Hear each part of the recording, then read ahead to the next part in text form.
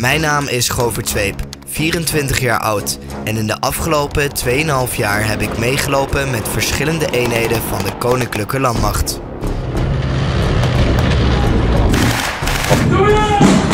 Het is een kat-en-muisspel.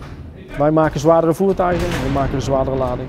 Maar dat was eigenlijk voor mij de eerste keer dat ik in de, in de loop van een wapen keek die niet van mijn maatje was. Ik ervaarde zware trainingen Dit is uitputtend. en ik ga in gesprek met de militairen over de missies en uitzendingen van het Nederlands leger in het buitenland. Ik eh, ben Bas, mijn achternaam noem ik niet, uit de veiligheidsoverwegingen. Maar Je maakt dingen mee met, eh, met deze jongens, die, eh, ja, die ga je nergens anders vinden, denk ik. Ja, ik heb het vizier. je mag vuren als je stilstaat. Welkom bij Govert in het leger.